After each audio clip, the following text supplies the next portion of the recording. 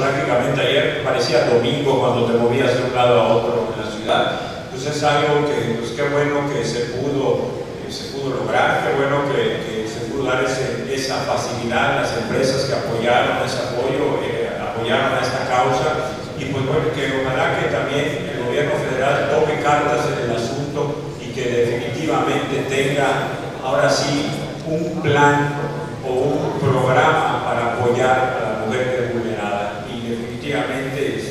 que haya leyes para castigar al que, al que atente contra las personas en general,